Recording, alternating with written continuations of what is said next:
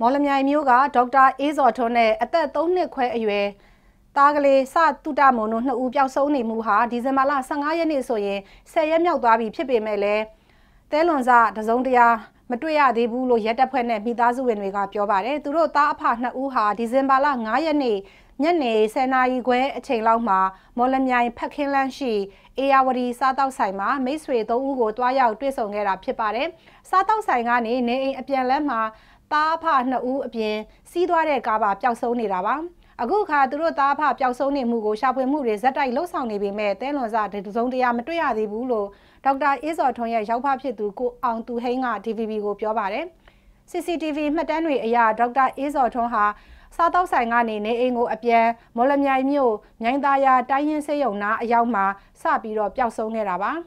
ဒေါက်တာအေးစော်ထွန်းနဲ့တားဖြစ်သူပျောက်ဆုံးမှုကို ရှာဖွေတာတွေဇက်တိုက်လှုပ်ဆောင်နေပေမဲ့လည်းထူးခြားမှုတစုံတရာမတွေ့ရသေးဘူးလို့မော်လမြိုင်မြို့မှုပေါ်နယ်မြေရဲစခန်းတာဝန်ရှိသူက DVB ကိုပြောပါတယ်ရှင်။